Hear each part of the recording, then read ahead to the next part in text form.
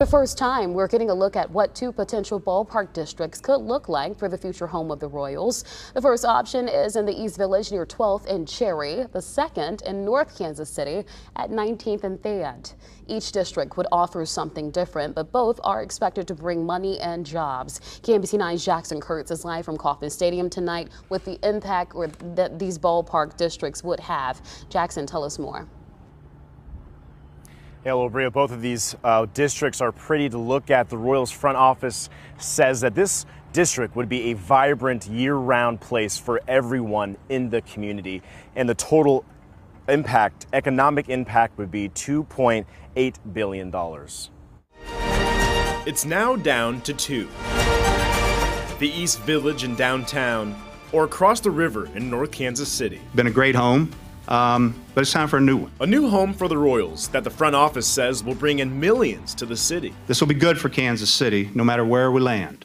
Uh, we'll see to that, and you can hold us to it. Still, some say it's taxpayers in Clay County or Jackson County who should have the final say. There are unseen cost decisions like this, and so whether it's a new tax for Clay County or the renewal of an old tax for Jackson County, um, there is an, uh, an unseen uh, part of this conversation uh, that I think taxpayers need to take into account. The Royals say the new district will create 20,000 new jobs over its construction, 68 million in increased spending from visitors traveling to the games once it's built, and bring in 170 million in annual retail and hotel revenue. I believe that they believe their numbers, but you know the problem with using other people's money is that sometimes uh, when the bill comes due, it's not the people making the promises that have to pay it. The Royals say no matter where they play baseball, they hope it helps the community grow. Why not put forth our best effort to show Kansas City in the best possible light?